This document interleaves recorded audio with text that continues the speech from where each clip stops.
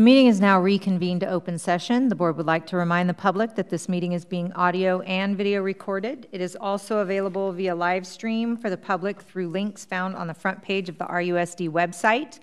We could also we would also remind everyone to please enter and exit through the lobby.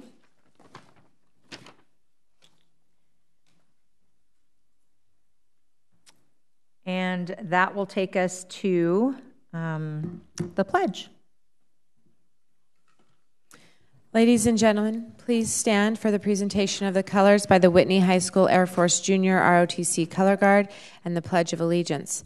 The commander and U.S. flag bearer for this evening's Color Guard is Cadet Lieutenant Colonel Heaven Green. The state flag is carried by Cadet Colonel Gabriella Larson. The right guard is Cadet Staff Sergeant Sophia Burkhalter. The left guard is Cadet Captain Clayton Hove. And the alternates tonight are Cadet Airman Ryan Manning.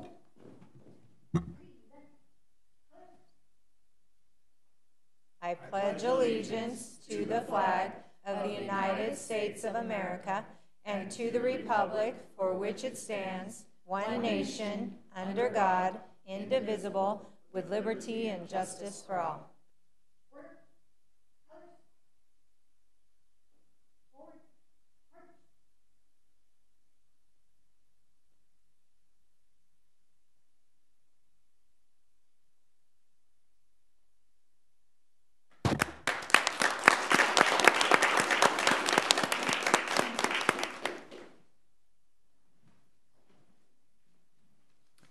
So proud of them. All right, we will now move to our special recognition and presentation portion of the meeting. Chief Dosanjh, will you please introduce our Family Partners in Education recognition tonight? Good evening, President Hupp, trustees, and Superintendent Stock. So nice to see all of you guys once again. The Family Partners in Education program is an opportunity for the Rocklin Unified School District to recognize family engagement and involvement to help our students achieve excellence during the school year. For tonight's Family Partners in Education, we have Springview Middle School Principal Daniel Lauer joining us to introduce the Sabins family.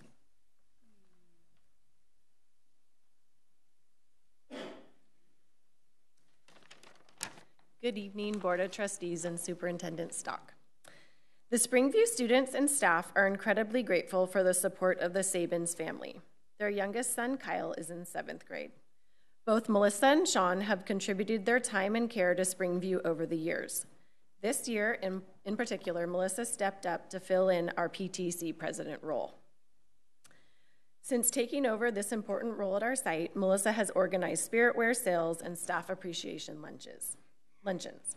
Staff has been a key, or Sean has been a key member of our Springview wrestling coaching staff for the past four years. He spends countless hours supporting wrestlers on the mat and assisting with other coaching duties. This past October, Sean volunteered to be a chaperone for our four day marine biology field trip. On this trip, he was in charge of a cabin filled with seventh grade boys, participated in hikes, and other science activities. Also, Sean volunteered his time at our Day of Awesomeness in October. This four hour long event was outside, and we had over 200 students participating in trike races, inflatable slides, and other games. We truly appreciate all the Sabins do for our Springview community.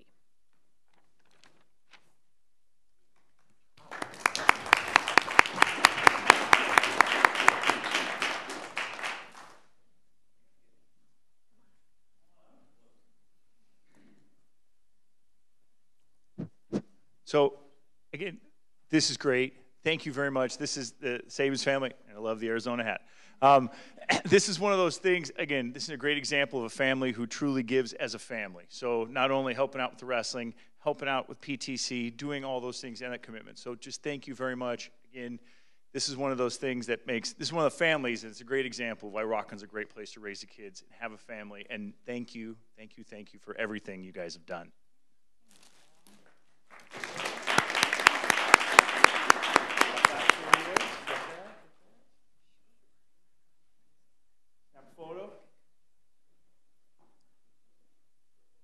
Cool River Pizza donated a uh, pizza for the family tonight.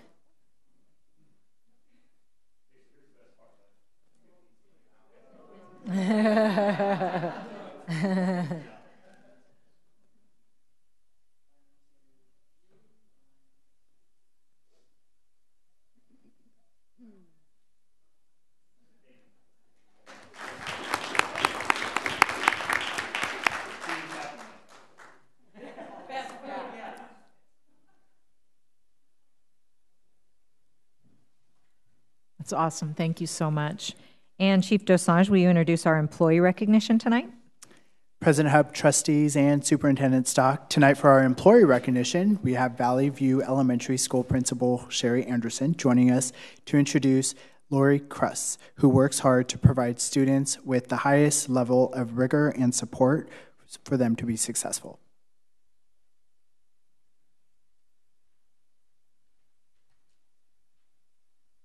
Good evening, trustees, superintendent Stock. Valley View Elementary would like to recognize Lori Cruz as being an extremely valuable team member. Lori has been in Rocklin Unified and at Valley View since 2018 when she began in our K3 SDC class, which is now our 1 3 SDC class. Lori is compassionate, committed, and supported, supportive to other team members. Her compassion spreads to all students, but most especially those who face those who face more difficulties than others. She understands a variety of disabilities and has an authentic way of validating, normalizing, and mitigating struggles for students. I have observed students new to Lori's class have a great sense of calm and belonging once they settle in. Lori is committed to providing all students with the highest level of rigor and support needed to be successful.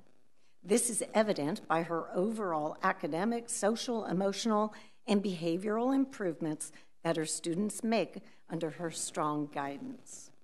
She is committed to our school team, as well as serving on our PBIS Tier 2 3 team, offering her knowledge and experience in planting, planning interventions and supports for our teachers and general population. She regularly collaborates with general education teachers, making sure that both classes are accessible and a priority for her students. Lori is supportive in any way possible around our campus. When there's a new team member, Lori offers to assist in onboarding, training, and supporting them to their comfort level. She will meet after school, have them join her class to see how a task or activity is done, and has modeled in other classrooms to support teaching and learning. She has recently recruited other SDC teachers throughout the district to meet in her classroom monthly for support and collaboration regarding best practices. Lori is humorous and humble. She will act as if she's not worthy of this and then make a joke of it. We know she truly is worthy. Lori's energy is endless and she has a drive to excel. How do I know this? Well, first of all, she recently added a new male to her household, much to her husband's dismay. The good news is, Doug is a young canine that requires a lot of Lori's attention. Brian really does like Doug as well. After school, she can be found taking her girls, Ava and Audrey, to the many activities that, they, that keep them busy. But if that isn't enough to demonstrate Lori's energy, Lori also recently qualified for the Boston Marathon, in which she will be competing August 17th. Lori is a blessing to us all. Let's cheer Lori on as she continues to do great things for Rocklin Unified.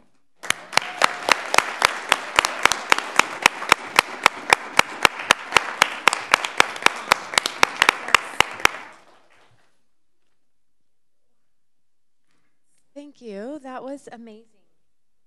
I even need this or if it's even on. Lori, we are so grateful to have you on behalf of the board. Thank you for all that you do. When you listen to those words that she used to describe you compassionate, supportive, humble you must have a huge heart, and we so appreciate all that you do for kids. And it sounds like you're also a great staff member and colleague, so thank you again. We have this fun basket and this for you.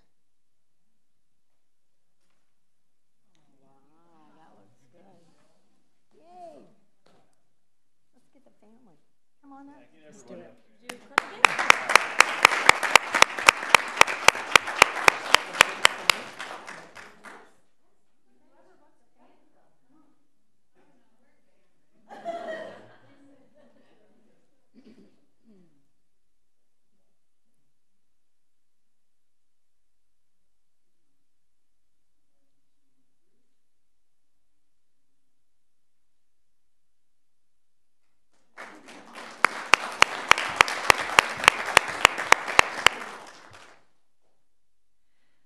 That was so fun to watch your family while while uh, Principal Anderson was reading the um, the words about you. They she obviously was nailing it pretty good because your kids were nodding and looking at you like, "That's right, that's right." All right, families, thank you so much for coming. We sure appreciate having you here to support your um, family members and friends, but you don't have to stay if you don't want to. We'd love to have you, but you can leave now. This is a good time.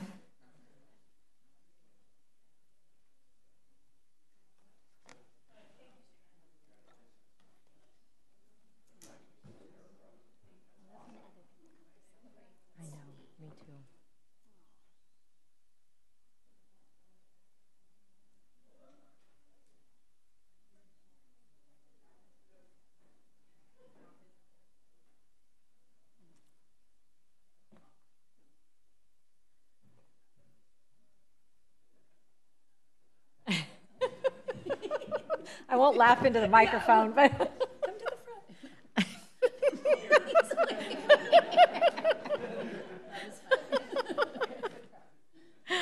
front.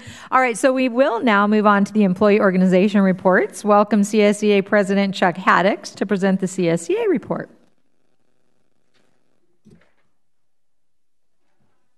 We, we were just commenting that, and now there's two. Good evening, President Hupp, trustees, and Superintendent Stock. So I see it on the docket tonight. The district has made a new position as a lead computer support tech for TK through 8 to help support the, uh, the computer support uh, techs TK through 8.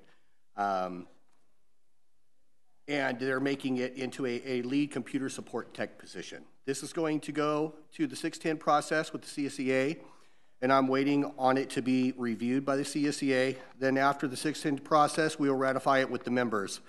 Also, the reduction of hours was submitted to the CSEA for the 610 process, and I'm waiting to ratify the reduction of hours with the members as well. Um, all of this was negotiated and sent into the CSEA for 610 process before today's March 15th deadline. Mm -hmm. So that was mm-hmm. awesome. Um, we also have contacted our labor rep to start the process of sunshining our articles to the district for negotiations, but I'm still waiting for that to be returned to me from the CSEA as well. Um, once everything is, um, once I get everything back, uh, we have our normal meeting um, at the end of the month on Monday, March 27th, at our regular chapter meeting. Um, we'll ratify everything then, and then I'll bring it back to the board on April 19th. That's all I have. Awesome. Thank you, Chuck. Thank you. All right, now we would like to welcome our TPA President, Travis Moget, to present the RTPA report. You know, as, as, I look at, well, good evening, first of all. Um, as I look at Chuck and I over there, I feel really bad not making the last meeting, and Chuck probably was there all by himself. So, Chuck, I apologize hopefully it won't happen again. Um, uh, I come to you guys with, uh, I want to start out with, with some major thanks and gratitude. Um, so I couldn't make the meeting last, last or two weeks ago now, as you guys know, um, but I was able to send, uh, send my notes ahead of time. And not only did I like actually, I, I got the responses, I got the feedback, but I actually got to see it tangibly happening. Um, I was laying in bed like dying, but I was well enough to to rewind when I wasn't coughing my lungs out. So um, and it was awesome to see the dialogue happening, which wasn't an easy or fun dialogue in some essences, um, around uh, saving and protecting programs in the district. And I can't tell you enough how much that means to obviously those individual programs, but most importantly, the kids. I mean, the, the fact that those kids came up here and spoke on behalf of their programs, like, I'm just sitting in bed going like, oh, there's no way this doesn't go through. Like, who can say no to the, the heartstrings they're pulling on? Not to mention just the reality of what those kids were, were advocating for in their programs at, at Rocklin High.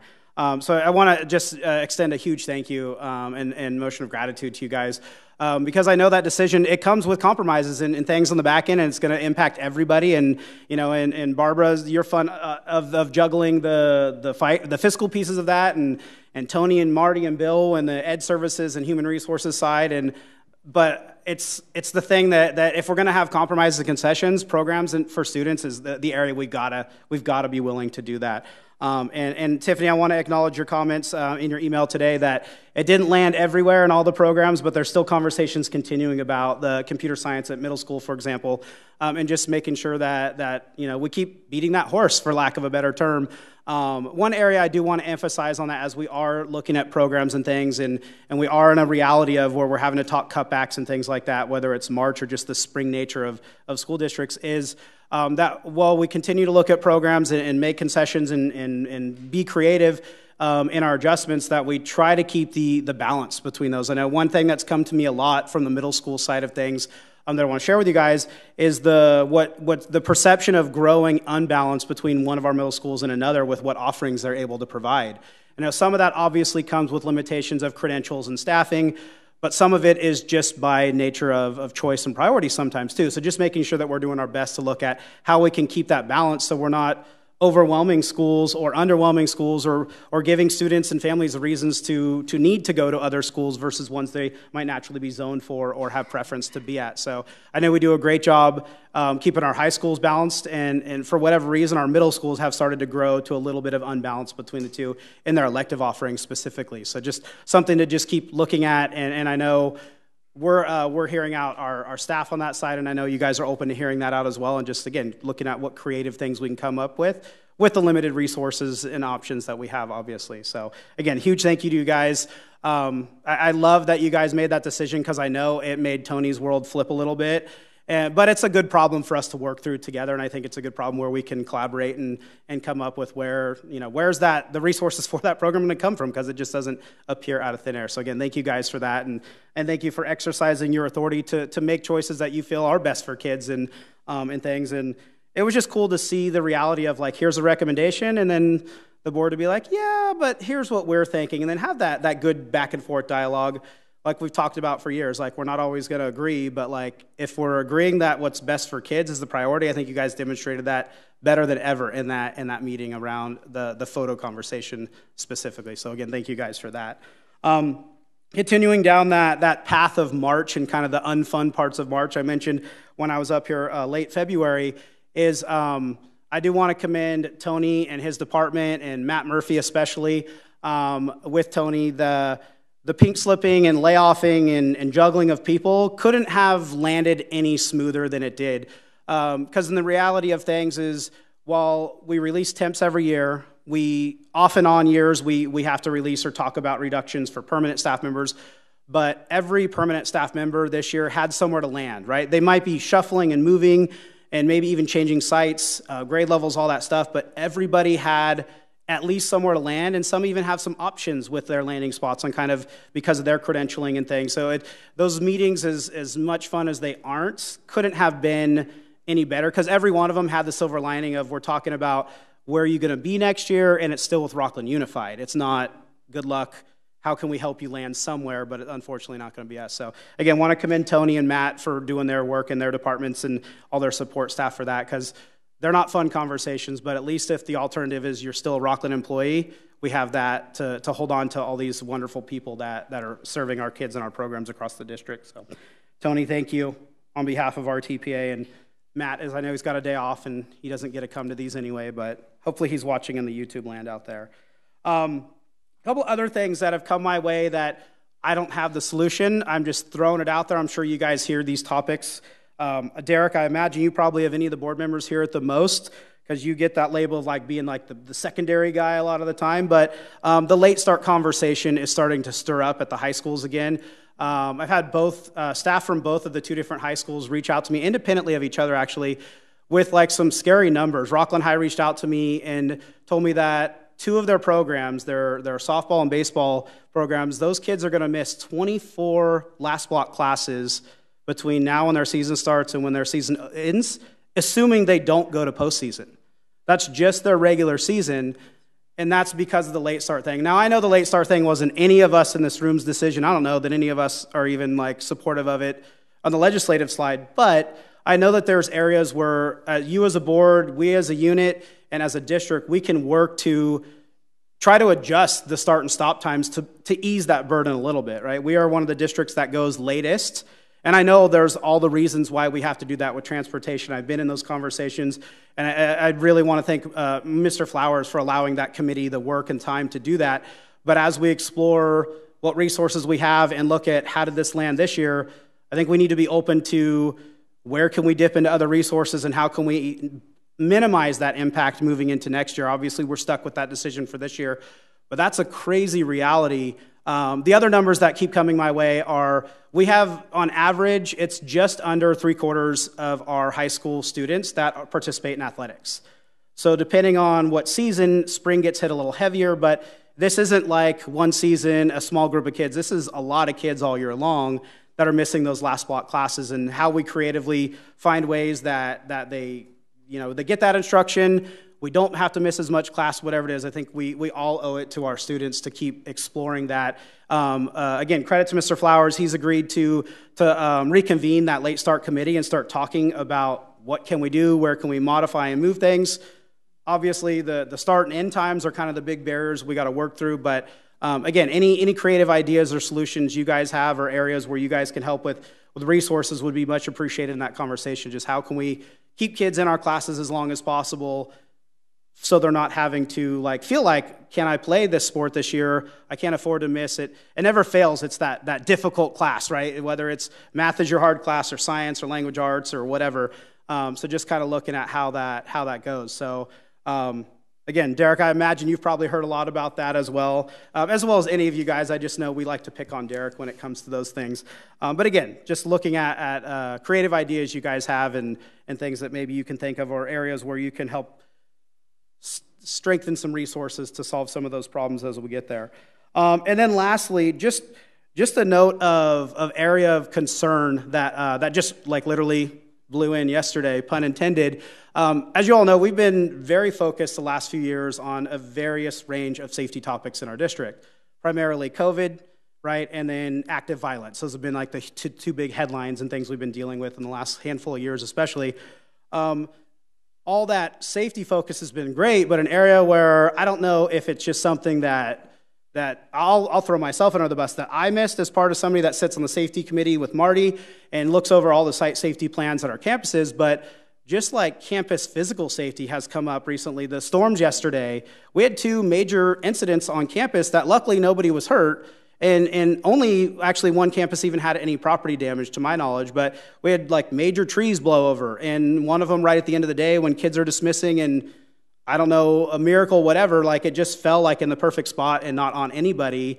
Uh, but just how do we how do we start addressing those just kind of regular or sometimes taken for granted safety needs on our campuses? Is is there a maintenance element where we can look at, at our CSEA colleagues and, and Craig and his team and what can we do to maintain campuses a little bit better? I know their resources are stretched beyond thin anyway, but just those kinds of things as as the extremes of, of COVID are, are behind us and the probably never extreme of, of weather is going to be behind us, but what can we do for our campuses to just maintain that safe environment? Whether it's keeping kids in during those extreme weather situations and putting in, but providing them safe environments to have those indoor recesses or lunches or whatever it is. You know, high school, we don't have indoor recess, but we have 2,000 kids that need to eat lunch out of the weather, and we don't have a facility that can reasonably do that. And when we do, supervision becomes the new challenge, right? Middle schools, I think, face it similarly.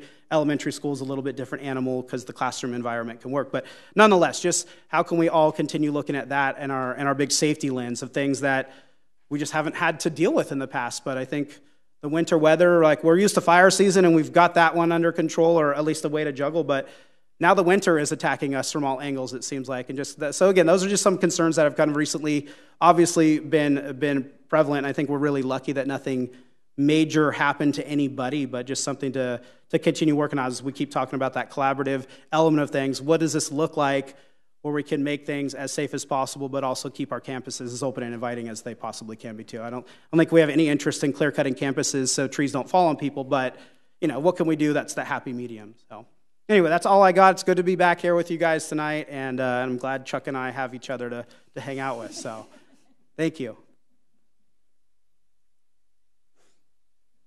Great. Thank you, Travis, so much.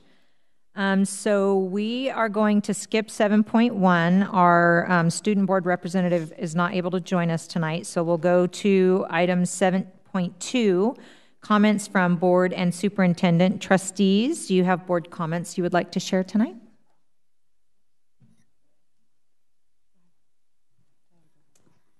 I just, oh.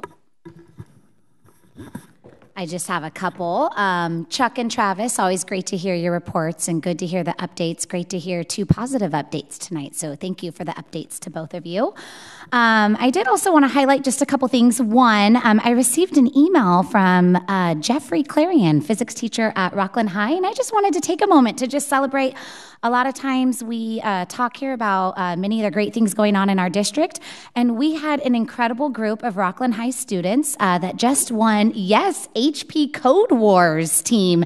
And so I just thought, you know, what a phenomenal uh, thing that our district provi- provides such a variety of opportunities for students to connect, inside school and outside of school.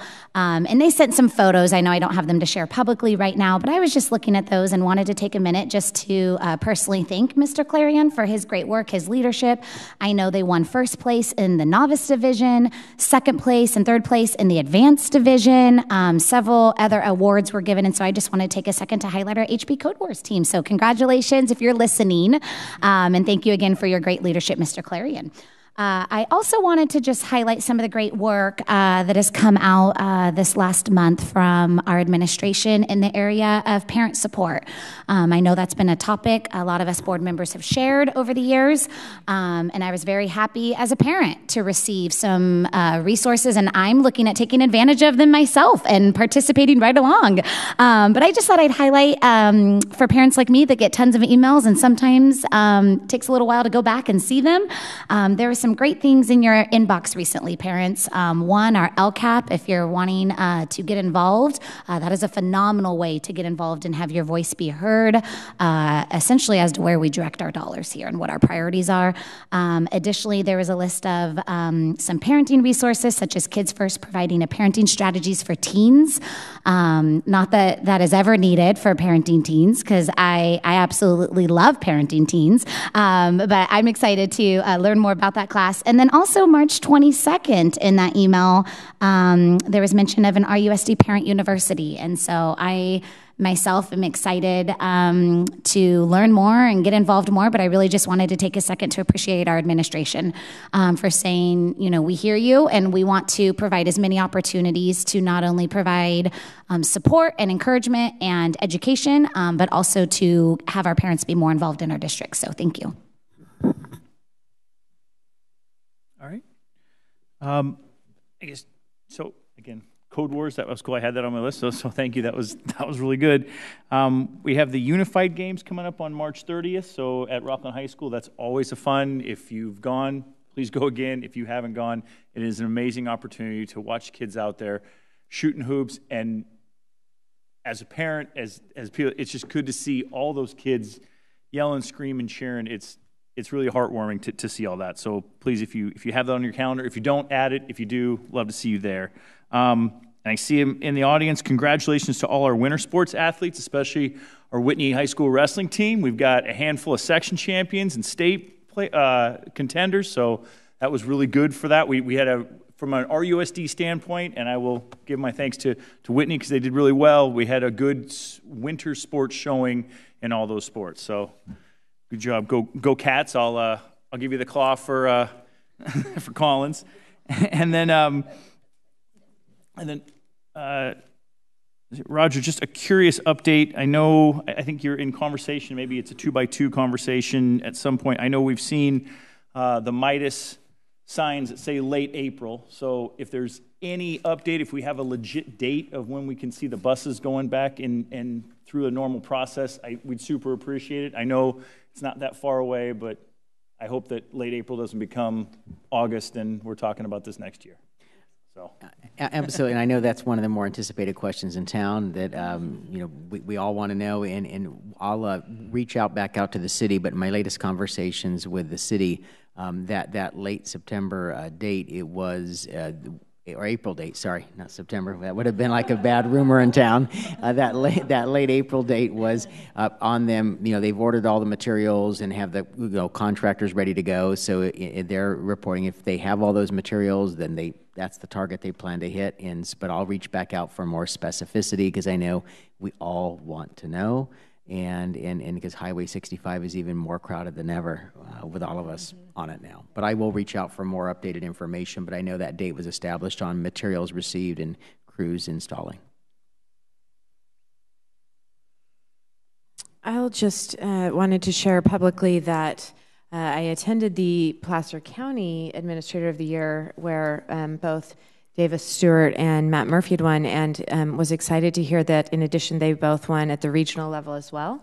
Um, Davis Stewart for Regional Secondary Principal of the Year, and Matt Murphy for Regional HR Administrator of the Year. So, congratulations to both of them. We wish them luck. Their names are also going to be forwarded on to um, the state for uh, state consideration, and we're just really grateful to have them both in our district and, and proud of them for being recognized. I just had a couple things. Uh, one, I was happy to be able to make the Springview Showcase Night a little while back with two of my kids, and um, I didn't know because I didn't have my oldest. I had my third grader and my TKer, but um, it was so engaging. Everything that the teachers put out, it felt very thoughtfully done. Activities that were really hands on and kind of got kids thinking and having fun with math and science and so we were happy to be out there, and it was kind of exciting. My my third grader was like, "Oh, I didn't know that I'd be able to do all of these things," and so it's fun to get them excited about school. um, and then this last Friday, I was happy to chair our Parker Whitney dinner auction event that we do every year. And it was, you know, a little bit a small but mighty group, I guess, coming out after two years of not having it with COVID. And it just feels really good in our school communities to be kind of building things back up, getting parents to connect, and just you know making sure that we have this well-rounded community and experience. And so we're looking forward then at Quarry Trail next Friday to doing the first ever luau dance with the families. And so these things are just, I think, what makes school fun. It makes people feel connected, and I'm really happy that we're back to doing all of these things. Um, Travis and Chuck, thank you so much for your reports. It's so great to hear everything that's going on around the district and also to hear the concerns that are uppermost on people's minds. Super appreciate that. Uh, got our notes and we're, we're on it. Um, I want to, we, we often acknowledge how um, overworked and underpaid teachers are. I wouldn't know anything about that. Um, but I would love to acknowledge the CSEA staff. There's, uh, they're everywhere on every campus, and um, they're working so hard everywhere uh, you go in the cafeterias, on the grounds, the maintenance, um, in the classrooms, in the office. They're everywhere. And we don't often acknowledge that that they work just as hard and they do everything they can to support the kids and what's going on. Um, super shout out to the custodians that work so hard to keep our campuses looking good and all the relationships that they have with the kids. It's wonderful to see how much the kids love the custodians that are on site. My um, son when he graduated eighth grade i we bought gifts for his teachers and the only one he really cared about giving was the one to the custodian. He really wanted to bring her a rose um, because she had been such an important person throughout his schooling years. And i just i think we should acknowledge how important they are in the kids lives because they're they're all through their education. Um, teachers have that ability to have that close bond in the classroom for a year, but the CSEA staff often have, especially the ones that are on site, they often have all the years with the kids and they get to build those long term relationships. So, big shout out to CSEA and all that they're doing on our campuses. Um, and also, just a shout out to Hannah. Um, everything I talked to Roger about this month, I would say, "Man, that's amazing! Who who did this?" And he would say, "Hannah and her staff, Hannah and her people." Everything I asked about. So, thank you for all the great things that you're doing. Superintendent Stock. So I, I just wanted to kind of, you, you all uh, like, like read my notes. So the parent university that trustee Sadoff mentioned, if you uh, have an opportunity to pre-sign up, that way we make sure we have all the big spaces there, free parking. Um, also, and we have a several hundred folks already signed up within a couple days of having sent this out. So we really are, are excited about that. Um, and, and we also wanted to just, as we talked about some of the, our amazing staff and some of their awards and accolades, also wanted to uh, share that um, the California School Public Relations Association also honored Sandeep Dosanjh, our Chief of Communications, uh, with some peer-reviewed awards. And these are a little bit uh, unique in that uh, the, people are they can submit works programs and it's peer reviewed and recognized. And one of the pieces that he was recognized for that I think really speaks to the leadership of the board in our community is the work around combating the issue of fentanyl poisoning.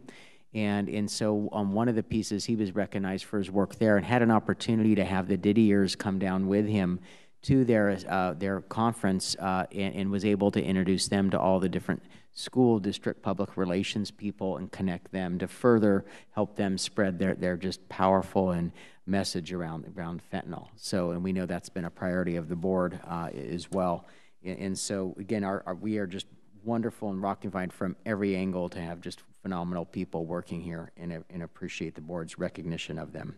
Um, also, I, I, would just add that um, in, in, regards to the late start issue, which has been something our community vetted widely years ago before the legislature decided in their wisdom to impose it, um, is that we, you know, we, we do all have a role from um, our, all of our settings, whether it's um, from our, our, our, our, CTA and labor partners and CSBA and others to continue to advocate the legislature to um, return um, those decisions back to local school districts because um, you know we, we are really it, it's a I'm glad we're continuing to collaborate look for solutions work together dialogue look what other maybe other districts have other ideas because we're all in this boat together of these impacts you hear.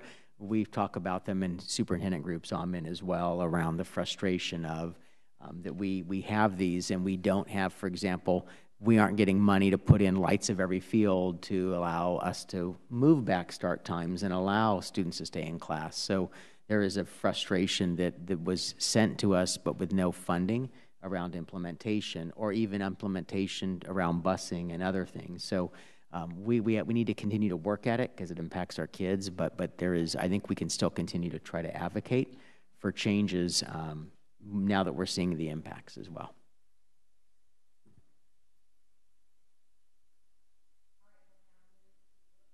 We'll now move to uh, item 8.1, the consent calendar.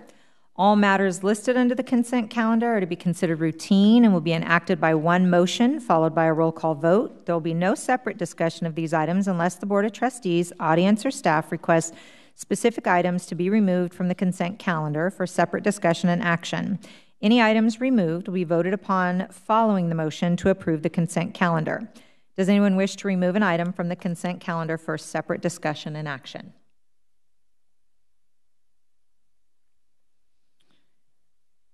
Okay, so is there a motion to approve the consent agenda items? So moved. Okay, first Second. by Trustee Price. Second. Second by Trustee Counter. Georgia, will you please call the roll? Derek Counter. Yes. Tiffany Sadoff. Yes. Rochelle Price. Yes. Michelle Sutherland. Yes. Julie Hupp. Yes. Okay, motion passes.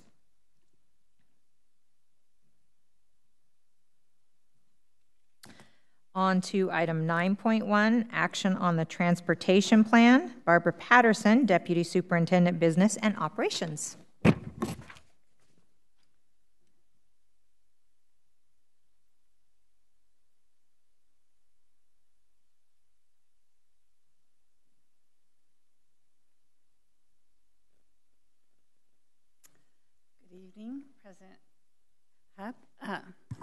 President Hupp, Board of Trustees, and Superintendent Stock. Um, unfortunately, uh, Matt Sanchez, our Director of Transportation, is out ill today, so I will be presenting our transportation plan. Um, I want to thank Matt, even though he's not here, for all of his hard work in preparing this transportation plan. So we'll review the uh, the apportionment, the requirements for um, this home to school transportation reimbursement, and then our actual plan.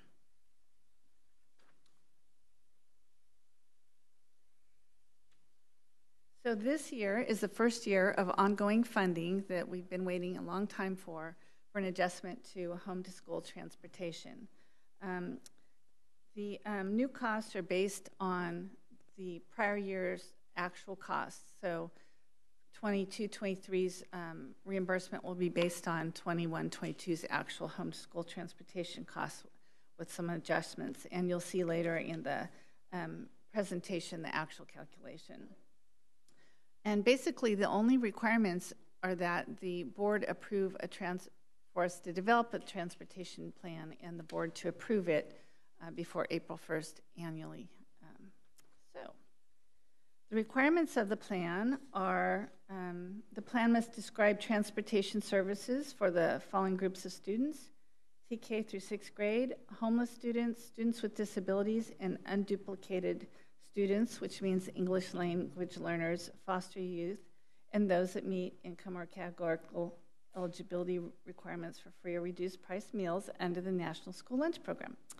Consultation with stakeholders is required, and then it must be presented in an open meeting um, with the opportunity for in person and remote public comments. And as I stated, approved before April 1st. This is our current transportation services uh, program that you'll see tonight. The district provides transportation to all students who are eligible and apply for services. Therefore, all students that are eligible are receiving priority. The walking distances are established by the board in Administrative Regulation 3541 and are listed here in the PowerPoint.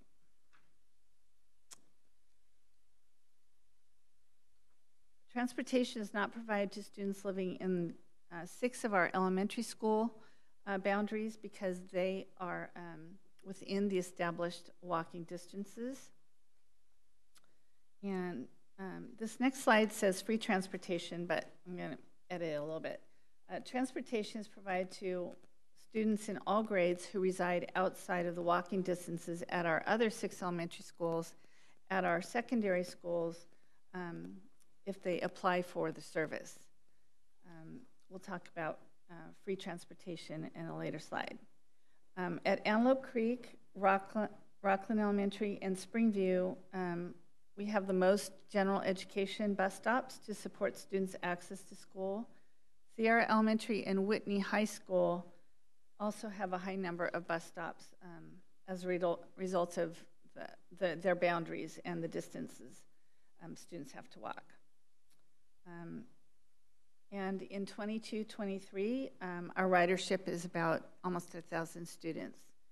120 um, of those are um, students with special needs.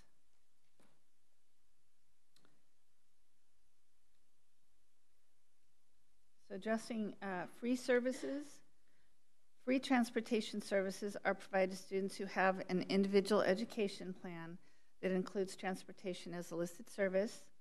Um, it's also provided to homeless and foster youth students and qualified low-income students that apply and are within the approved service areas.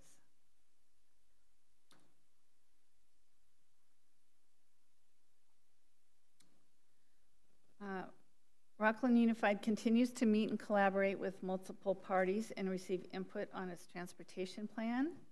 Uh, the director um, consulted with the Sacramento Air Pollution Control District, the Placer County Air Pollution Control District, Placer County Transportation Planning Agency, and the Department of Public Works Transit Division. Um, and I also want to thank Hannah Anderson our Director of Innovation, School Programs, and Accountability for her help in reviewing the online surveys, meetings, emails, and public comments as part of our consultation process. Uh, this is the uh, reimbursement calculation. They do take our prior year um, costs and then they back out the, uh, the add-on in the local control funding formula that has been frozen since 2013 of $223,000 to come up with our annual reimbursement. Um, and so this is um, presented to you as a two-year plan for 22-23 and 23-24. So with the board approval of this transportation plan, the district meets requirements for this reimbursement apportionment, and um, we, as calculated, the district will receive $688,000 um, in this fiscal year after the plan is submitted and uh, are approved, and it's projected to receive a million twenty-three thousand in twenty-three, twenty-four. That concludes my presentation. So just a couple questions. The why behind this, is it more anticipated fuel costs and increase, or is it the need for new buses, new transportation, like old equipment type thing? Or is this just they, they finally figured it out and we've been asking for so long and, Yes, the, um, they've been asking for years to change the actual for- funding formula. They didn't touch that, although they, for the first time, um, starting next year, are going to apply the COLA.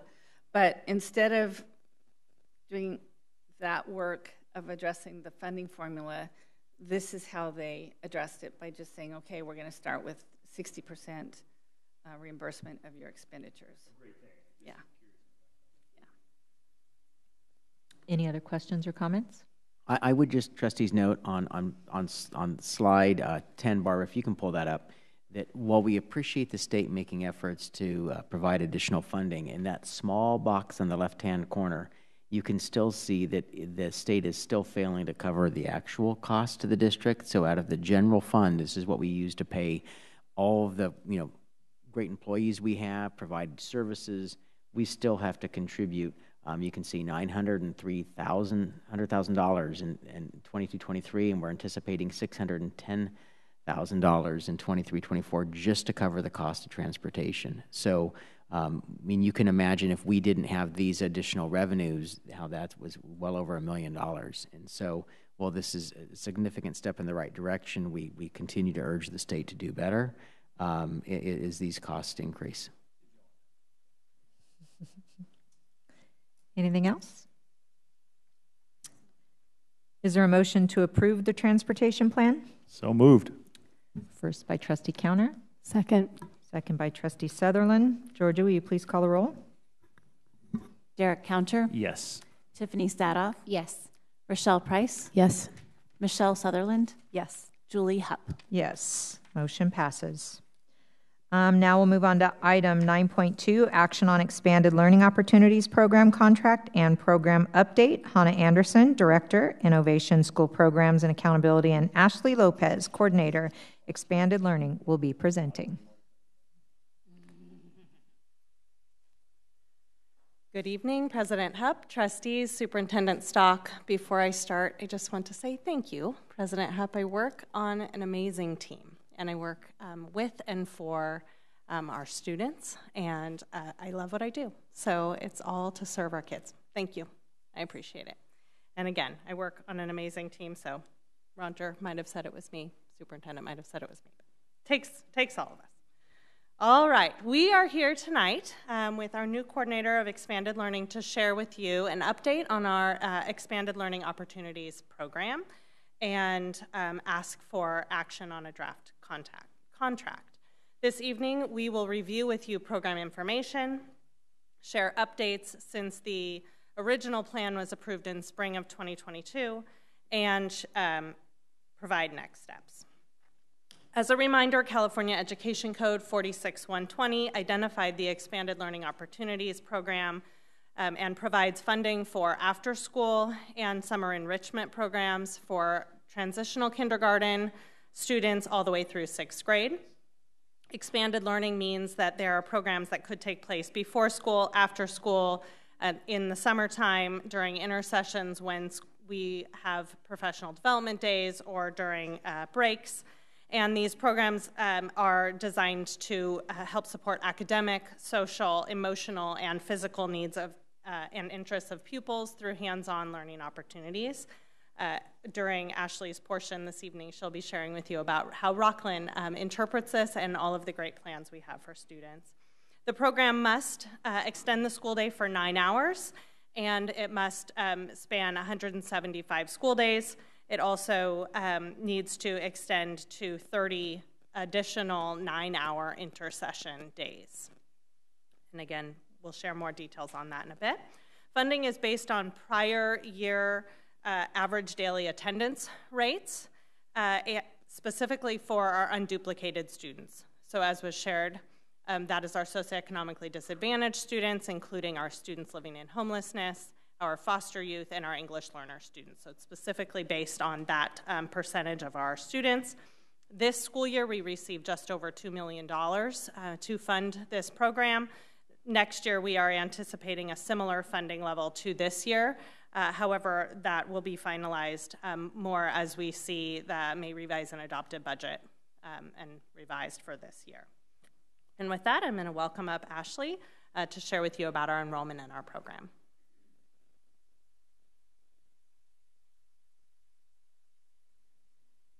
Good evening, trustees. Our ELO program must be offered to all TK through 6th grade unduplicated elementary school students. As stated previously, this encompasses our socioeconomically disadvantaged students, our English learners, foster youth, and students living in homelessness. In our district, in our elementary schools, this encompasses about 1,400 students. RUSD must provide access to any TK through 6th grade unduplicated pupil upon parent or guardian request, and RUSD anticipates about 50% enrollment in this program. We will begin this program in summer 2023 with the following offerings. Our summer school program will be held at Sunset Ranch. Program will encompass our traditional summer school program, which will operate for four weeks during the time of June 12th through July 7th. New this year, we will be offering an English learner newcomer camp, which will be geared towards our third through sixth grade students who are new to the country within the last year. These programs will take place from 8 a.m. to noon. Following those programs, though, our ELO program with Catalyst Kids will provide an extended day to meet the nine hour requirement that the state has in place.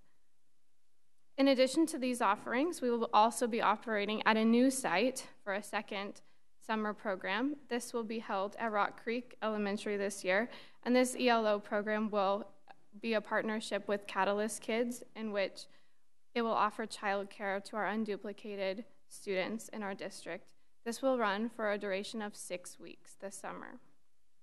Lastly, we will be offering camp and other enrichment opportunities.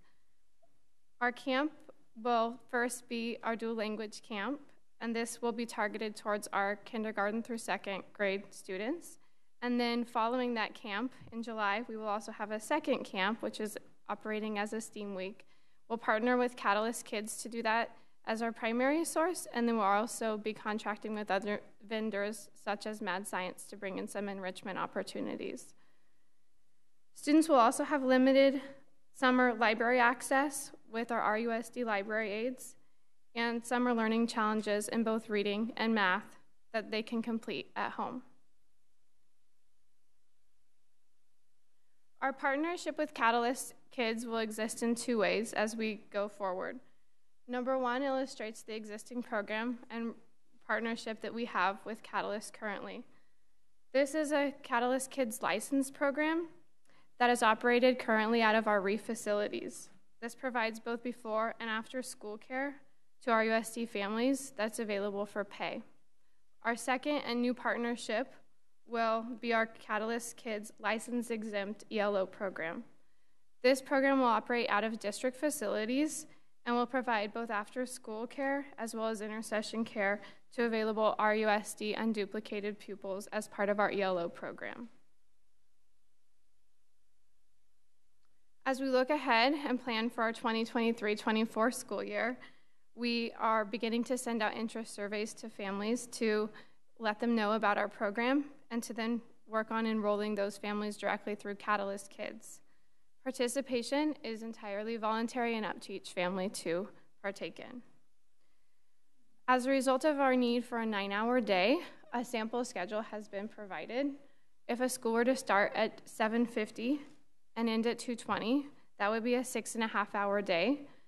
But in order to meet our nine hour requirement of our ELO program, we would contract with Catalyst Kids during the hours of 2:20 to 4:50 to extend the day. Now we recognize that this time frame ending at 4:50 would be a little bit awkward, so we work with Catalyst for our early start sites to round off to releasing students at 5 and at our later start schools 5:30. RUSD um, would then receive a bill from Catalyst directly for any unduplicated student enrollment costs. Some important elements of our Catalyst program are as follows. Catalyst Kids will start off with a meeting time each day that the students come in, and this time they will welcome students. They will provide information about the activities for the school day, and then they will encompass a social emotional component. Following this, time will be homework time. We have asked um, Catalyst Kids to prioritize homework for our students, especially in the area of mathematics, as we recognize that this is a district need and feel strongly that having an additional adult be there to answer questions for a student that needs help is essential. We will also have the opportunity for the students to play games, do arts and craft projects, and engage in STEM challenges. We will also work to ensure that a Chromebook cart is available for our students in our after school programs so that they can work on ST Math online. And at some sites, we will offer after school tutoring. In addition to this, we have indoor and outdoor recreational opportunities for students, including dramatic play, art, STEM, and reading. And Catalyst will incorporate 21st century learning skills of communication, collaboration, creativity, and critical thinking. Catalyst does an excellent job serving students' interests and incorporating those in, into building thematic units that match the needs of each school site. There will be some additional program components that are uh, the result of our ELO program. RUSD will need to establish one designated classroom at each of our 12 elementary school sites as a hub for our ELO program. This hub will serve as a location for our Catalyst staff to be able to house their curriculum, as well as for us to provide a refrigerator for after school snack services. And I just want to give a shout out to our site principals who have been very accommodating in making sure that there is space for this program at each of their school sites. Additionally, transportation will also be impacted next year, though to be really clear about that, it will only take place um, with an impact during our summer school timeframe. ELO requires that we uh, bus our students to and from our ELO program if it is not offered at their resident school site. So because we're only holding our ELO program this summer at Sunset Ranch and Rock Creek, we will be required to bus our students to that program. But because during next school year we are operating at all 12 school sites, it will not require additional transportation services for our, our students. It will also have an impact on nutrition services as our lunch um, will be provided on intersession days through RUSD for a period of time during the summer months um, and through Catalyst Kids during intersession days that fall in the school calendar, such as the November break and February break. Snack will be provided on all after school days through Catalyst Kids as well. So, as we continue to move forward with this program, um, we initially sent out a survey last week to all of our families of unduplicated students to let them know um, about the program and the offerings and for the purpose of both planning and pre enrollment. From there, we will follow up with our families to send out registration um, and really to target, even though all of our unduplicated students are eligible for this, we really would like to spend additional time targeting our students who need tier three supports, including students experiencing homelessness and our foster youth. So we'll follow up directly with phone calls to those individuals to further support them. Thank you. Okay, so on to next steps. Uh, tonight, uh, we are requesting the board take action to authorize the superintendent or designee to execute an ELOP contract with Catalyst Kids. This uh, will allow for us, uh, well, it actually allows Catalyst Kids to move forward with their hiring. We know that in a staffing shortage, it is very challenging to um, get enough staff to run this program by June. So that's what authorized us. It would also allow RUSD to move forward with marketing and enrollment and reaching out to individuals um, who we would like to make sure are enrolled, right? That priority access piece that we've talked about previously in the LCAP. Um, and then this uh, uh, draft action in substantially the same form, including material terms as the draft ELOP contract presented, including a fee amount not to exceed 1.7 million based on a projected 50% enrollment.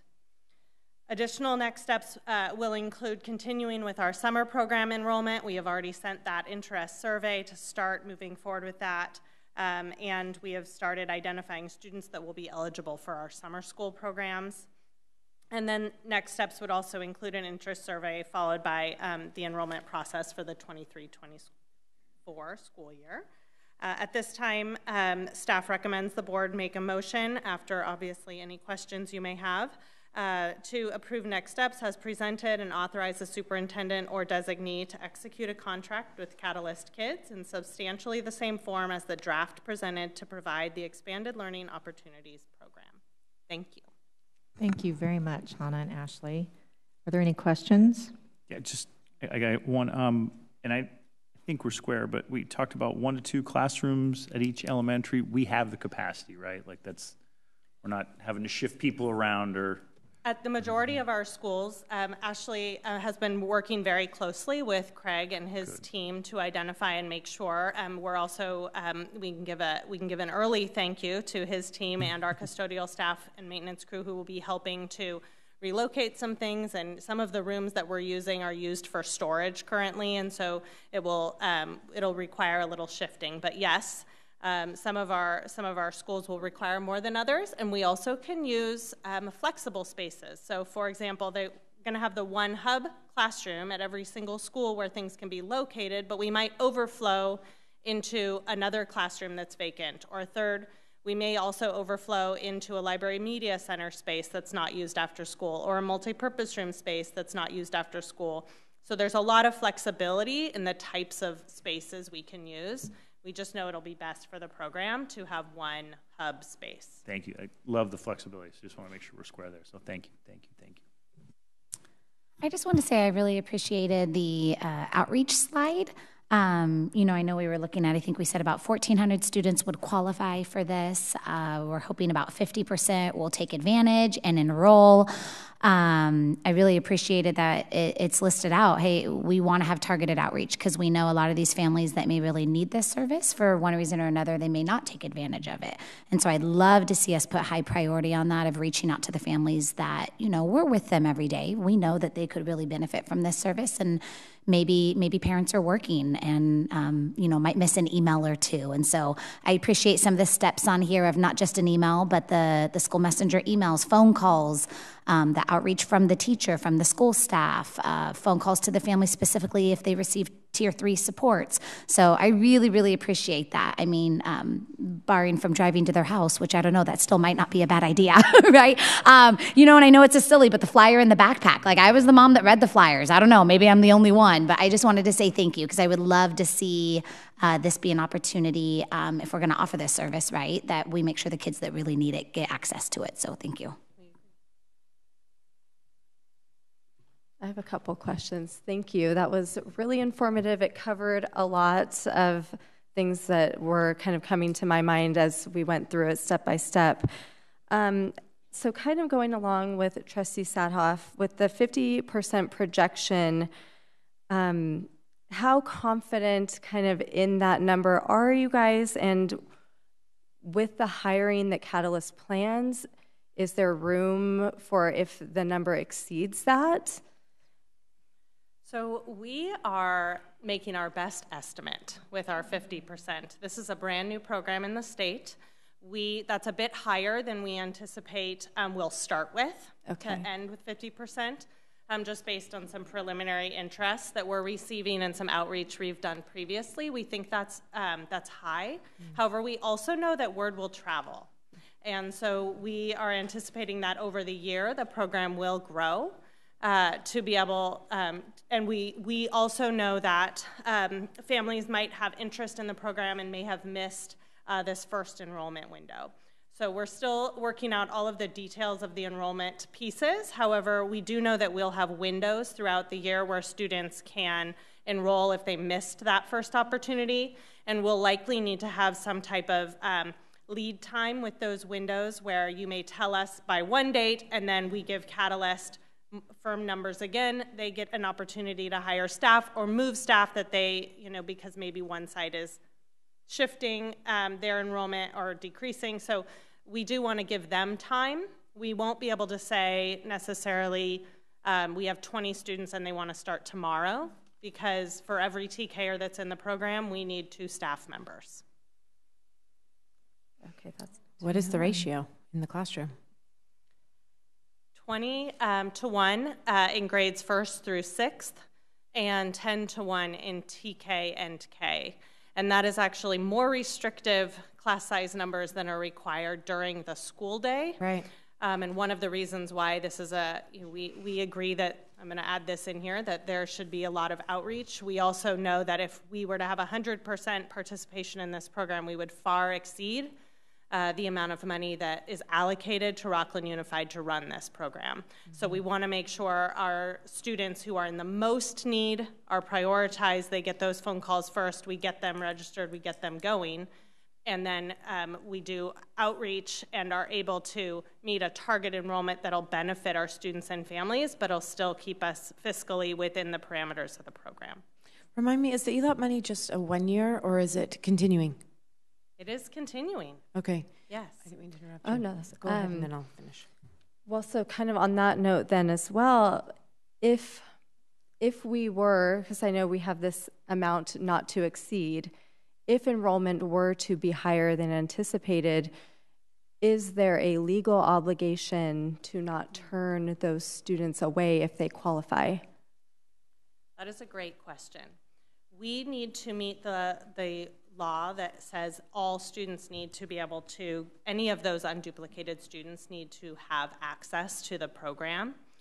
So if we were to need to exceed the 1.7 amount, we would need to renegotiate our contract and have the opportunity to look again at, at how do we best serve those students, and we would be prepared to do that. We have some draft language already in the contract that um, would um, have Ashley meeting with our her Catalyst counterpart. There will be a director that is just overseen on the Catalyst side that supports the um, Expanded Learning Opportunity Program.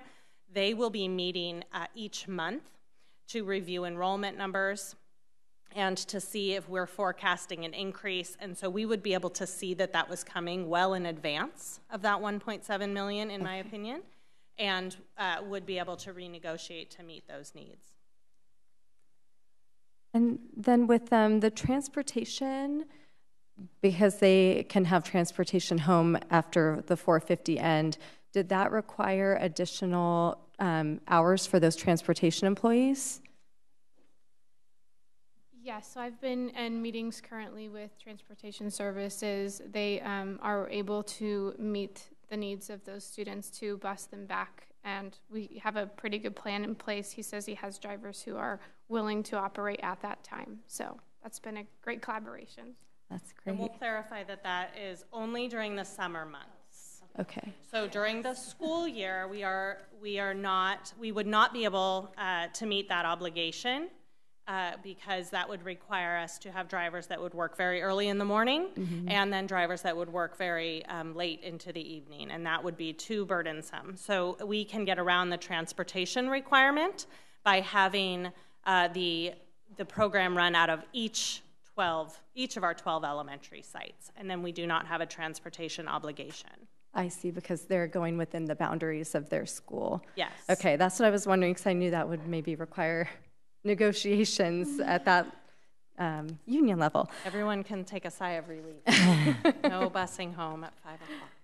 Um, I just have one last thing that is maybe related, but maybe not totally um, contract type. Um, so I saw the slide that shows that there's the Catalyst license program in the REEF facility, and then there's this license exempt ELOP program, district facilities. So these students then will be attending after school these that are enrolled in Catalyst and these that are part of ELOP, are they together? Are they like siloed off separately? And do we anticipate any, um, if they are separate, any kind of social, socio emotional concerns with, oh, you're going to that program and I'm going to this program? They are two different programs. One, um, one program, um, they are two different programs running simultaneously on the same campus in much the same way that we have current after school programs running out of our, all of our elementary schools currently. Right? And some of them are fee based and some of them are not fee based. So we are also, though, being very thoughtful about how do we um, make sure that it doesn't look like one program is one way and one program is another way, um, in that even thinking about designated spaces and what kinds of furniture needs to be in those spaces and how does it look substantially similar so that um, all of our students are having a similar experience. I do anticipate that there could be times where they are mixing. Maybe there's outdoor play and both um, sites, uh, uh, both sets of students are out there. I think those are details that we're still to work out with, uh, with Catalyst. I don't anticipate inside of facilities that there would be commingling because they are two different programs with two different facility uh, use agreements um, for the students that would be um, there. Um, however, we also don't anticipate, uh, I, I wouldn't say that we anticipate this being as big of a challenge as we originally thought it could be. So I think that we have been able to um, work with Catalyst, uh, and, and Catalyst has been really working on how do we create a very strong expanded learning program that is a desirable place for students to go. And no one, um, we don't anticipate you'll be able to see much of a difference. Thank you. What are the staffing requirements for this, um, like qualifications? So, our Catalyst staff that is hired has to um, have either two years of college, essentially, an AA degree, or um, be passing, able to pass an instructional aide exam. Okay. My, my reason for asking my thought behind that was in addition to the importance of us marketing to families, we have Sierra College and Sac State and William Jessup, and that is another opportunity for, you know, even if it's not us, but to suggest to Catalyst Kids that they're marketing to some of our graduates and at least our local students that are studying elementary education or child development. Um, these are great opportunities for experience for them and trustees, this is why we wanted to bring this as soon as we could because every school district in the state has this legal requirement. So we're all trying to get the same kids. And as you, we still know businesses are experiencing staffing shortages. And, and so we wanted to get out as quick as we could to um, make sure that we can staff the program because the requirement doesn't say, well, if you couldn't quite find people, it's okay. And, so that is, uh, uh, there are a lot of huge challenges. And the other uh, piece is that you can see the significance of this program. And we are going to learn a lot this year. This is uh, going to be a lot of continuous improvement uh, in process um, because we, we are looking forward to really learning and seeing how we can also reinforce district initiatives. Like you heard the math component weaved in. We're excited as the work related to Prop 28 expanding arts and music it gets going if we can add some of those elements in as we start to build capacity. So we think there's a lot of exciting learning to do, um, but we will be closely monitoring and really on the sites to uh, take a look and invite you to come out and see, you know, are there differences, are there not, and, and just what that feels like. Yeah, I also am thinking in relation to the LCAP and those meetings that are coming up because I recall that there were discussions about extended school day for some, you know, our unduplicated population. So I'll be interested to see how that kind of works into it and maybe provides more flexibility to use some of these resources in another way. Just want to say welcome, Ashley, and thank you both for your work. Thank you both very much. This was a ton of work and awesome job. Thank you. Oh, mm -hmm. Yeah, I'm getting there. so, is there a motion to approve the Extended Learning Opportunities Program and authorize the superintendent or designee to execute on ELOP contract with Catalyst Kids not to exceed 1.7 million? So moved. First by Trustee Price. Second. Second by Trustee Sadoff. Um, so this is a motion to approve the Expanded Learning Opportunities Program and authorize the superintendent or designee to execute the ELOP contract with Catalyst Kids not to exceed 1.7 million. Georgia, will you please call the roll? Derek Counter, Yes. Tiffany Sadoff, Yes. Rochelle Price, Yes. Michelle Sutherland, Yes. Julie Hupp. Yes. Motion passes. They said they would see it. I- I- So if there's an adjustment to the contract, we will come back to the board um, uh, i- i- if, if, uh, for that adjustment. I just would hate to see that limit our services. So that's why I just wanted to check. Is that would that would that delay students' needs being met, or do you feel like that's a fast turnaround if you needed to go over the 1.7 million? W- When, uh, uh, is uh, Hannah uh, mentioned that when, as they meet monthly to review anticipated enrollment staffing needs, we anticipate, uh, we, we expect that we'll be able to anticipate that need and then come back to the board prior to, to seek additional authority. Great. I just want to make sure we don't hold you up. Thank you. Thank you. All right, now on to item 9.3, action on second interim report and budget revisions. Barbara Patterson, Deputy Superintendent, Business and Operations. Good evening again. Uh, So tonight, I'll prevent- present the uh, highlights of the second interim report, which is in your board packet. Uh, First, I want to thank all of the departments for reviewing and updating their department budget projections. And I especially want to thank Beth Parrish, Director of Fiscal Service, here tonight, uh, along with our business department staff for all their hard work um, in preparing the second interim estimated actuals and multi-year projection for you.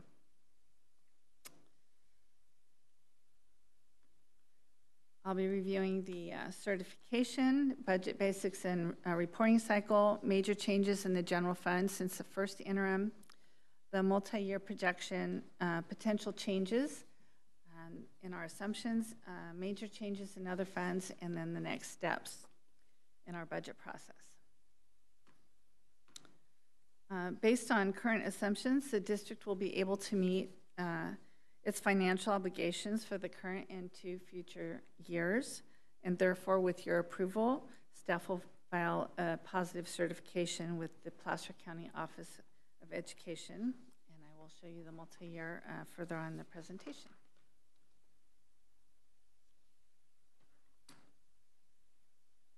So um, here are some um, reminders of when we report, uh, formally report about the financial um, activity and uh, position uh, to the board. We're at second interim, and um, based on um, um, the budgets are based on assumptions and actual events. Uh, changing conditions require changes in our assumptions throughout the year, and um, all budgets are based on the best projections possible, adjusting for actual revenue and- expenditures throughout the year. So at second interim, um, the actuals are through July, uh, January 31st, and then our projections are for the remainder of the year. Um, so we're here in March, at second interim report.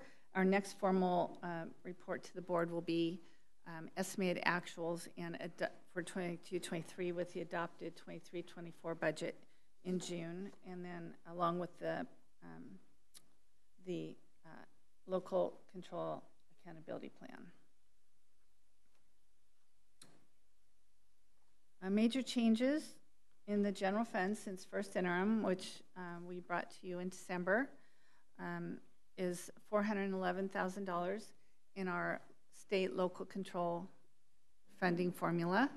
Um, we got a certification from the state in, Jan, um, in February um, stating that they're allowing us to receive funding for RICA ADA from 1920.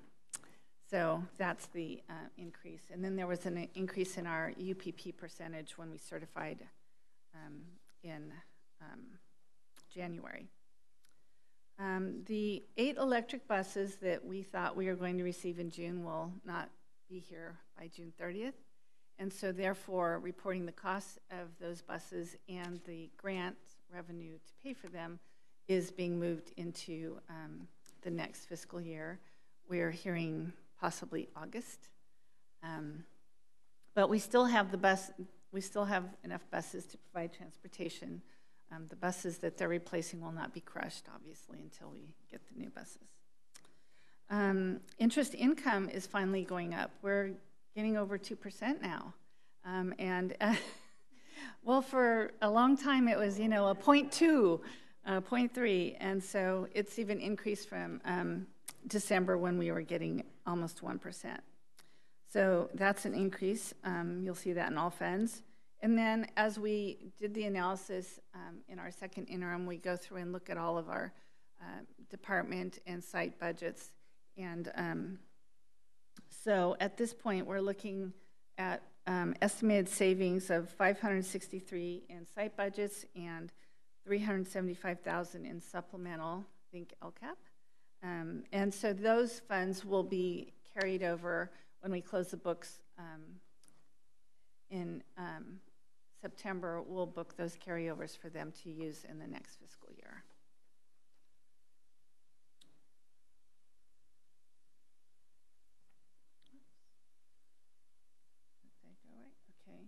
Uh, we purchased another 250 uh, Chromebooks through the federal ECF program. Uh, so both revenues expenditures for those purchasers um, are increased by 100,000. We received a one-time assessment from our um, excess liability carrier um, of $154,000 and um, offset by the final billing for our liability insurance. Um, you saw a presentation about the Expanded Learning Opportunities Program. That was originally budgeted to start earlier this year. Um, by starting it in June, we're moving um, $1.1 million of expenditures out of this year's budget. And then each year we look at the projects that are planned for deferred maintenance and repair projects and, and try to estimate how much of that is going to be completed in June and then how much will be completed in the next fiscal year. And so we've estimated that $581,000 of those projects will not be completed by June 30th and will be reported next year's budget. This is a summary of the changes I reviewed, um, but it's in the SACS format that you'll see in the SACS report. Um, this document is for changes from first interim to second, and so um, there's a $1.2 million, um, $1.2 million of the increase in revenues over expenditures since first interim was unrestricted, and 2.2 million is in restricted resources.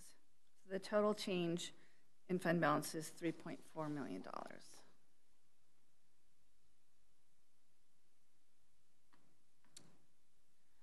Uh, this is the multi-year projection for unrestricted only. Unrestricted meaning no specific legal restrictions on the expenditures of funds, other than it has to be for an educational purpose.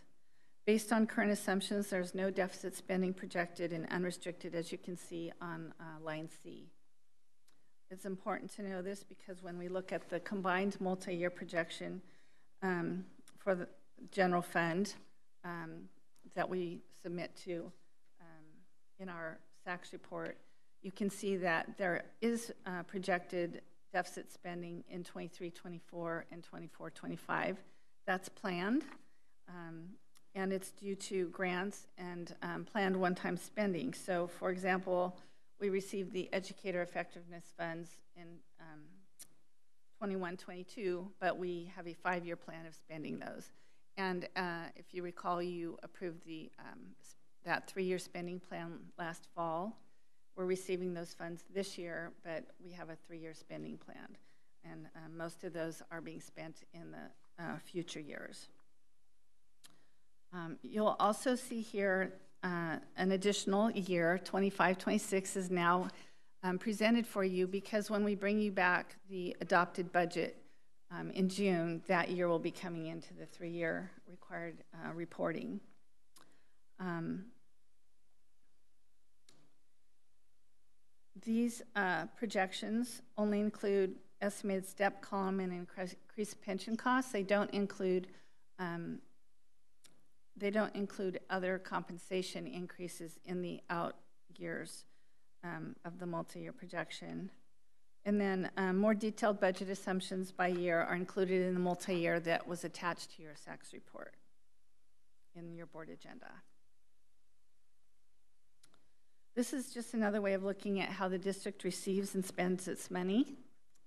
Uh, 71% of the funding this year is through the state's local control funding formula, and that's based on average daily attendance. And then 82% of our expenditures are for employees and salary benefits because we are a people business.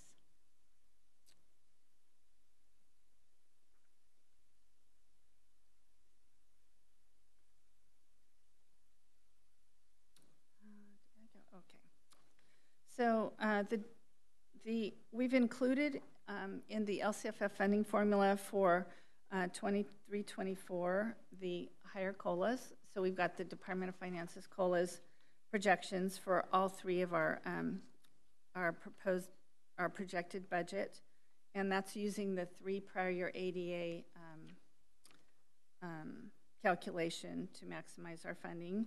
We've also assigned uh, 2.5 million in fund balance um, for the proposed, the governor's proposed cut, mid-year cut in our arts and music instructional materials discretionary block grant. Um, so that's in all three of the years in the assigned um, underline 4A in case that becomes law in order to continue implementing the board's approved plan um, uh, that was approved back in October. Um, the district has a healthy reserve. Um, if you look at the blue highlighted line, um, unassigned reserve for economic uncertainty, we've got 9.68% in 22-23. Uh, the 16.7 um, million dollars represents about 30 days of payroll. And There are a lot of things that can change in our budget. Um, this, these are the most of the major ones. We won't know our enrollment, obviously, next year until school starts. Um, and that won't be finalized until we certify CBEDS, which is an October date. Um, ADA for funding purposes is not known until April for P2. That won't affect our funding for this year much, but it will be affecting our, our um, out years because as we're using our prior three-year ADA. Um, and then um, the, bill, the bill back for special education services, we don't receive the final billing for those services from Placer County Office of Education until next November after we've had the books closed. So that will be an estimate. And our special education expenditures, um, are continuing to rise, um, just like utilities and other costs, but we won't know those final costs until we close the books in September. And then we'll be incorporating expenditures based on the um, local control accountability plan into our adopted budget, and that will be in June. The economy uh, funding projections by the Department of Finance are based on the current economic uh, forecasts of a softening economy, but no recession. Um, but we don't know what the impact of the inflation, rising interest rates, war in Ukraine, now possible banking crisis um, will have on the economy, and we won't. We also won't know the final state income tax revenues at the state level in time for their adopted budget because um, the state has extended the deadline from April to October um, to submit those tax returns. So that will be another item of uncertainty as we prepare our budgets for 23 24. We're not expecting any new state programs in the state adopted budget. And as I stated earlier, we don't know about if um, the legislature will go along with the mid year cut proposed in the arts, music, instructional materials, and uh, discretionary block grant. So um, and then federal programs, we tend to not know until between October and March of the following year, so we're just basing that on historical trends and information we get from CDE. Major changes in other funds, interest rates in all funds. Um, and the Placer County Treasury is affecting all funds, so we're looking at $404,000 increased rates in the other funds. Nutrition services, we were very conservative when we built the 23 24 budget. We didn't know how the free meals um, program was going to work. And we have um, significantly increased our um, meals that we're serving, which is wonderful. And so our revenues are going up, our expenditures are going up. Um, and then we're also receiving another uh, supply chain assistance grant of $353,000. And then in our capital projects, we've got another adjustment. We don't think the Quarry Trail um, new portable project will be completed by June. That's going to get extended. And we also have an adjustment down um, for developer fees as they're not coming in as originally budgeted. And then next steps, you know, as um, you know, we'll be we're working on um, the local control accountability plan. We're continuing to build the budget and meet with our. Um, we've already actually met with our um, our sites on their budget plans. Um, we're waiting for the May revise. We'll be bringing the estimated actuals and final adjustments for the um, budget back to you during the public hearing in June, um, along with the LCAP. And then state adoption is expected to be on time. That concludes my presentation. Any questions? You actually answered my question, um, but I'm going to highlight it just in case anybody out Sure. there is listening, because I think you did a phenomenal job of the way you addressed it. Um, slides 9 and 10 show what could appear to some, if they weren't listening, as a built in structural deficit. But I really appreciated your um, attention to highlighting and even the note on that slide um, that this is really, although it does show up in two of the years as deficit spending, it's really due to grants and one time spending because of how it fell in the timeline. Um, but that the 25 26 shows that there's not a structural deficit spending built into our model. I know that's important to many in the community and to me. I know sometimes when we receive the money from the state or a grant, we're not always able to spend it in that year. Um, so I guess more of a comment because you already answered it for me. Um, but I just wanted to thank you for th- taking the time to explain that because sometimes that can be a little concerning. So thank you. You're welcome. I just- So, thank you. Like, th- this is, this is, it's an amazing amount of work and time for you and your staff, putting all this stuff together and, and piling it out. And I know a lot of it is based on models and estimates, and I know when the state doesn't give you factual data, you got to make an estimate, you got to put a number out there, and you got to try to line things up, and it's never easy to make a guess and then build math off of guesses. So, thank you for that. I sincerely appreciate. Um, and I think it's it's good to show, and, and I know I've asked uh, Roger a couple times for it, so thank you. That 8218 number. So again, we're a service organization. We have a lot of people that are involved in educating and taking care of the, the you know our kiddos during the day. So it's really good to illustrate that you know 82% of it is people and 18% of it is facilities and programs and structural materials and equipment and all that stuff. And if I want more in one direction, it's got to come from another. So, you know, that we've only have 100% of the pie to ever chop up. So, thank you for that. And uh, let's hope we can continue on that trend.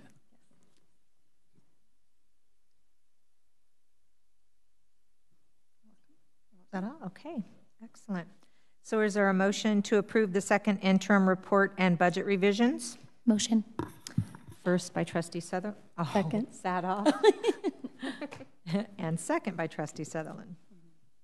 Motion passes. We got to vote. I'm sorry, Georgia, We- will we- you please it- call the it- it'll roll? be pretty easy, I I'm think, just but- throwing, I'm just going right over that. So good. I know, right? Derek Counter, Yes. Tiffany Sadoff, Yes. Rochelle Price, Yes. Michelle Sutherland, Yes. Julie Hupp. Yes. Now the motion passes. Thank you, Georgia. All right, we will now open agenda item 11.1, public comment on non-agenda items. We want to remind everyone that this agenda item is to give anyone in attendance an opportunity to ask questions or discuss non-agenda items with the board. The board is not permitted to deliberate or tec- take action on non-agenda items, but may refer the matter to a staff member for follow-up. A complaint about a specific employee of the district shall be made to that employee's immediate supervisor or the principal as required by Administrative Regulation 1312.1. We have one, oh, never mind, it changed. And they're all non-agenda? Okay. All right, so for verbal comments, please fill out a green public comment card, complete with all information, and turn it in prior to the agenda item. We're not doing that. I'll call your name, step up to the podium, and I'll let you know who's on deck. When you approach the podium, please restate your name, the city you live in, and the school your, chi- your children attend. You'll have three minutes to address the board. All comments must be respectful, no profanity. And we now invite Eric Berg to the podium. And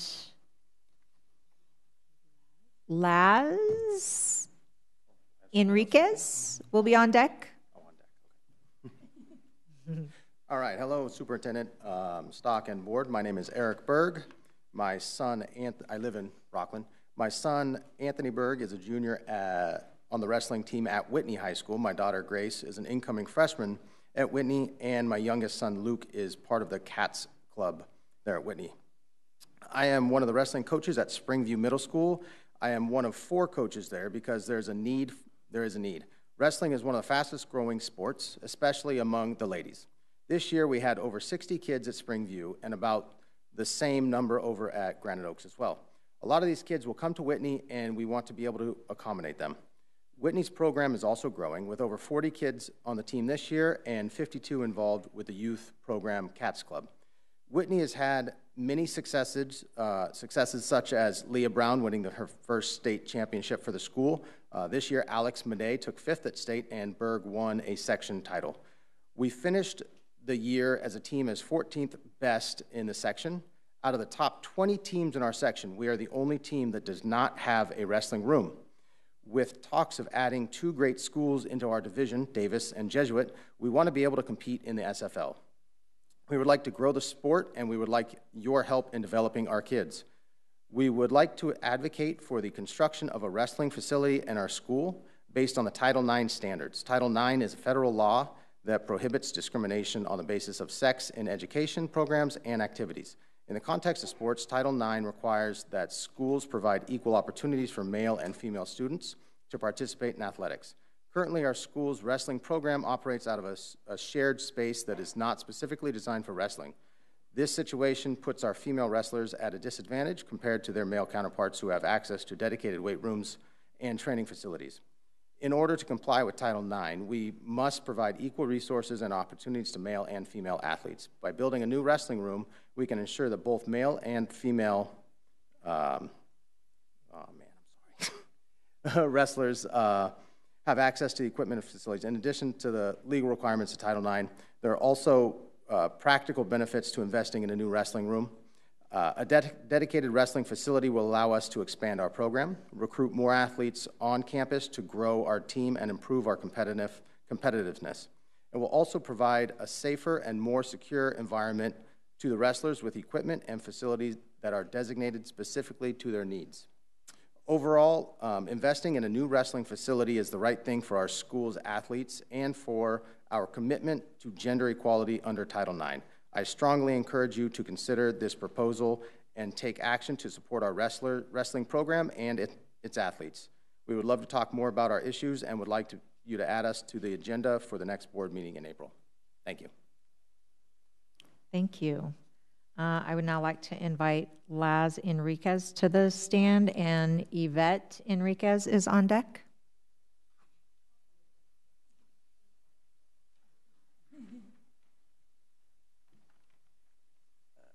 Uh, hello, everybody. Uh, my name is Laz. I am a uh, Laz Enriquez. I am a student and uh, athlete at Whitney High School, and I would like to talk about uh, water bottle refill stations at uh, Whitney High School and other schools in the Rocklin School District. Um, I would like to ask why hasn't the district made any organized efforts to work with every school to get at least one water bottle refill station? Because I know as a student and especially an athlete, it, it helps to have those. Uh, I, I carry around a half gallon of water every day to school and usually finish it by the time school ends. And uh, before practice, I gotta usually fill it up with like a drinking fountain and that, that doesn't really work very well. Uh, and so I'd like to um, ask the district to offer its resources uh, to assist schools in efforts such as to inform the schools about the cost of each unit, which would be around $5,000 each, uh, identify locations where it could be installed, uh, source, source the stations, uh, work with approved vendors for electrical and plumbing if needed for the install, uh, offer resources for soliciting sponsorships uh, and fundraising, such as like emails, uh, social media, and news outlets. I would like, and also to use internal resources such as facility maintenance, personnel and uh, Whitney High School BITA students who are uh, uh, able and willing to help complete the install. I can say that as one of them. Uh, uh, we, as the BITA students of Whitney High School and the, also the BITA instructor, Mr. Hunter, are uh, uh, will, willing and ready to help get any work done on campus. Thank you. Awesome. Great job, Laz. Yvette is up next, and after Yvette will be Manuel. Did I say that right? Hi. Um, so I'm kind of going to ride the coattails of Eric Berg, um, talking about needing a dedicated space for wrestling, um, not only boys and girls. Um, as you can see, I have a little one, and the hope is that when she gets to high school, there's a dedicated facility. Um, I'm not sure if you're aware, but um, they currently operate out of the cafeteria. So it's a shared space, there's food, there's food on the floor, the floors are not able to be cleaned, so the mats are rolled out onto the floor with whatever happens to be dropped onto the floor that day. Um, you know, bacteria and things spread, and not only for the wrestlers, but also the kids that are eating in the cafeteria. I mean, those mats don't smell that great. You're sitting there next to it. Um, I know the stunt team also works out of the cafeteria, and you know, it's hard enough to get people to participate, but if that's the room that you're walking into to do it, it doesn't really appeal to them. Um, it wouldn't appeal to me. And um, so realistically, there's a lot of scheduling conflicts. There's not a space for them, and they deserve it. They work hard. They it shows with all of the different championships and titles and things and all the successes. And just imagine what they could accomplish if they had the proper resources and support of the team, of the school, of the community. Um, there's a lot of people within the community that are committed to try to help and offer volunteering, materials, construction, um, and any kind of form or fashion that they can contribute, they will, not only financially. And so, a big part of what we're asking for is for the school district to commit to assisting in trying to make it a reality with you guys have a far reach, you have resources, you know what questions to ask, you know what's required with regards to construction, permitting, planning, consulting, inspections, different things like that. So getting you guys on board and helping guide us and help us be successful at building something that will not just be an immediate, you know, in the next year or two kind of success, but it'll contribute to the community and to these student athletes for generations to come. My hope is that my grandkids have a wrestling room at Whitney High School to go and participate in. So, what we're asking for is, I think, what the kids deserve. Because if you look at most of the teams, they have a soccer team has a practice field, the baseball teams, the football teams. Um, we don't need a new scoreboard for the football team. We need a facility for these girls and boys to go and participate in the sport of their choice. And I think they're entitled to it because we offer it, and I think Rocklin can come together. Thank you so much. And Manuel, you're up next. Everyone, um, Manuel Enriquez, husband, father of these two, um, live in Rocklin. She goes to Rock Creek, and uh, my son goes to Whitney. Um, my topic is uh, girls' sports um, and what the district is uh, going to do to increase participation. Um, by the age of 14, girls quit sports twice the rate of boys. And by the age of 17, 51% of girls completely stop sports. Um, they need dedicated space and their own practice um, facilities for events.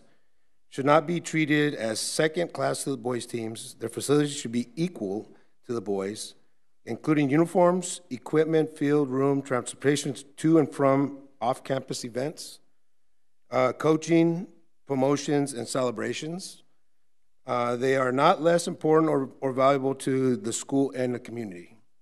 Um, a couple target sports that um, are lacking in some of that would be our new um, women's football, flag football. Um, what, are, what is the district going to do to support those those girls? Um, you just heard some of the statistics I just said. It it would be horrible to see Whitney not have a girls flag football team. Um, they should be equivalent to the boys. Same same uh, distribution of uniforms. The boys got like three different uniforms. They get all this. It should be the same. Um, along with wrestling, uh, we've only had uh, four women uh, female wrestlers this year, um, and they've actually accomplished the most. Um, Alex Madej finished fifth in the state. She's only a sophomore. She's going to win state eventually. And then, of course, Leah Brown was the first state champion at, at Whitney. Um, so uh, if you look at the Oro, their women's team's like 45 girls because they have the facilities, they promote it. Um, it's a grungy sport, but I mean, same with flag football. And also stunt. The stunt team's is a tough sport. Um, look at their facility again in the cafeteria.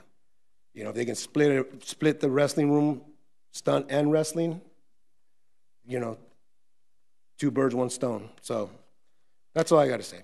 Thank you, guys. Thank you so much. And thank you for coming out as a family. Thank you for what you're teaching your children about getting involved in the community. It was wonderful to have you here tonight.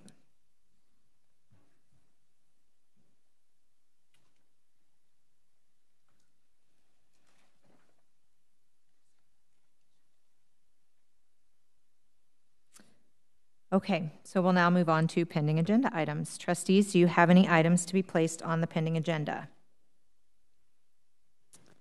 So I have a couple things I'm thinking out loud.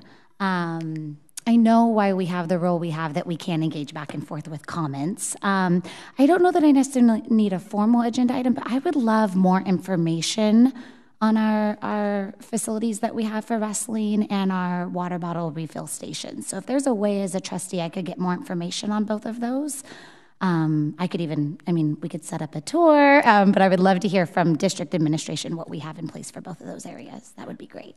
Um, Trustee Sadoff and, and, and, trustees, we, we will uh, follow up. One of the pieces that is a, is a future uh, work of the board is we're updating our facilities master plan. We do that every three to five years where the, we take a look at all of our district facilities, look at what the needs are, look at the planning piece, and um, that is uh, uh, being in the process of development, and that is scheduled to come back to the board for uh, discussion and, and eventual approval uh, later this spring. So, so that, and Whitney High School is included in, in that facilities master plan, of course, it's one of our schools, so there will be additional information, and we can also look to uh, provide some additional information uh, as you requested. And on the water refill stations, we'll all work with staff to provide uh, information related to what that is, and then also um, we'll also work to do some follow up to our, our, student who presented this evening as well regarding some of his ideas so that we can dive deeper with him into that. Thank you, Superintendent Stock. Nothing else? Okay, then the meeting is now adjourned.